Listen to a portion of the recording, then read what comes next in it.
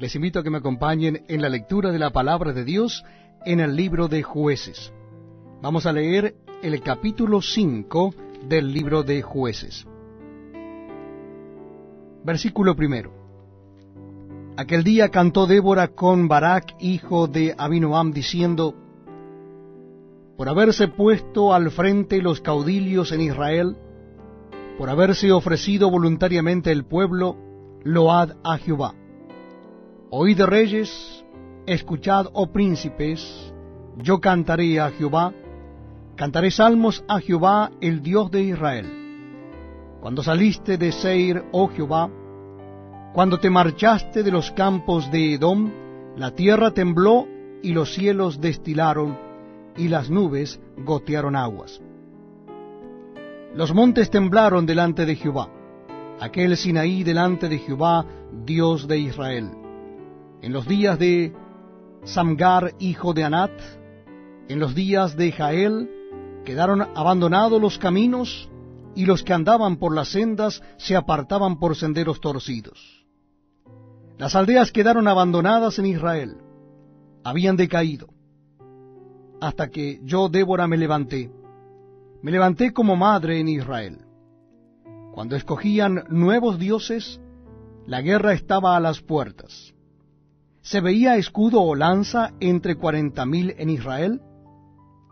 Mi corazón es para vosotros, jefes de Israel, para los que voluntariamente os ofrecisteis entre el pueblo.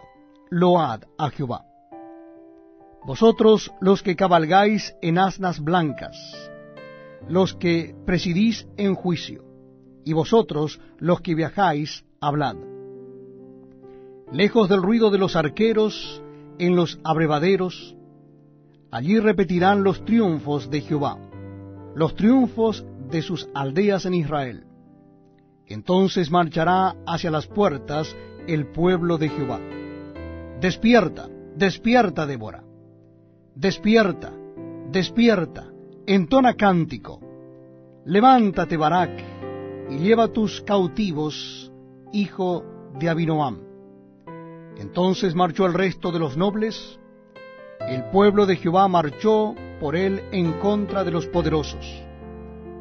De Efraín vinieron los radicados en Amalek, en pos de ti, Benjamín, entre tus pueblos. De Maquir descendieron príncipes, y de Zabulón los que tenían vara de mando. Caudillos también de Isaacar fueron con Débora, y como Barak también Isaacar, se precipitó a pie en el valle. Entre las familias de Rubén hubo grandes resoluciones del corazón. ¿Por qué te quedaste entre los rediles para oír los balidos de los rebaños? Entre las familias de Rubén hubo grandes propósitos del corazón. Galaad se quedó al otro lado del Jordán. Y Dan, ¿por qué se estuvo junto a las naves? Se mantuvo a ser a la ribera del mar, y se quedó en sus puertos. El pueblo de Zabulón expuso su vida a la muerte, y Neftalí en las alturas del campo. Vinieron reyes y pelearon. Entonces pelearon los reyes de Canaán en Taanac junto a las aguas de Megiddo, mas no llevaron ganancia alguna de dinero. Desde los cielos pelearon las estrellas, desde sus órbitas pelearon contra Císara. Los barrió el torrente de Sisón, el antiguo torrente, el torrente de Sisón.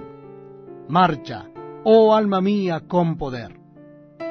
Entonces resonaron los cascos de los caballos por el galopar, por el galopar de sus valientes.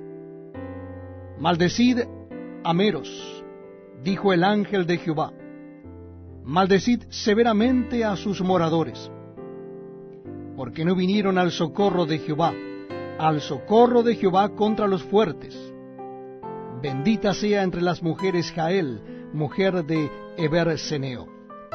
Sobre las mujeres bendita sea en la tienda. Él pidió agua, y él le dio leche.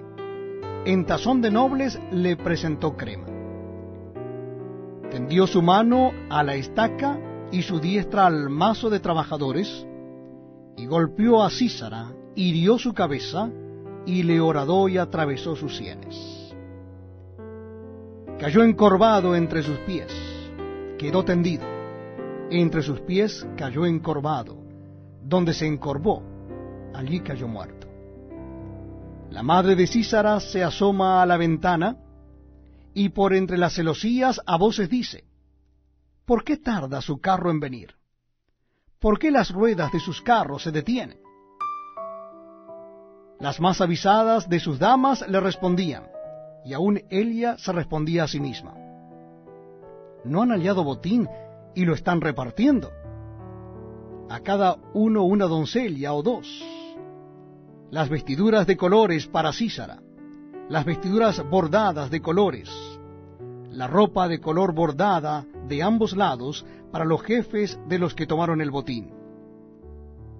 Así perezcan todos tus enemigos, oh Jehová. Mas los que te aman sean como el sol cuando sale en su fuerza. Y la tierra reposó cuarenta años. Reposó cuarenta años.